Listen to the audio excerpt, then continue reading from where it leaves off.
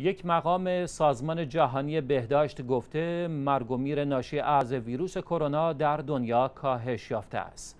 به گزارش شیویوز هانس هنری کلارگ مدیر منطقه‌ای سازمان جهانی بهداشت در اروپا در مصاحبه‌ای با خبرگزاری ایتارتاس این مسئله را مطرح کرد.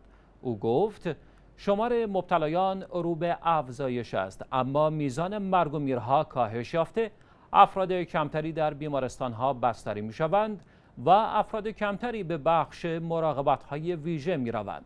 کلارک گفته هنوز زود است که این مسئله را به جهش ژنی ارتباط داد. او تصریح کرد یکی از دلایل آن ممکن است این باشد که افراد مسن بیشتر از گذشته می‌دانند چطور از خودشان محافظت کنند. وی اضافه کرد در چندین کشور سازمان ملل اوضاع درباره افراد مسن فاجعه بود. البته در زمستان ممکن است این روند مجددا تغییر کند.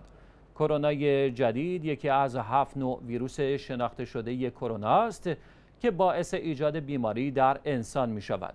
چهار گونه از این نوع ویروس ها علائمی شبیه سرماخوردگی خفیف ایجاد می کنند و سه گونه دیگر باعث ایجاد بیماری های حاد تنفسی می شوند که در مواردی به مرگ منجر می شود.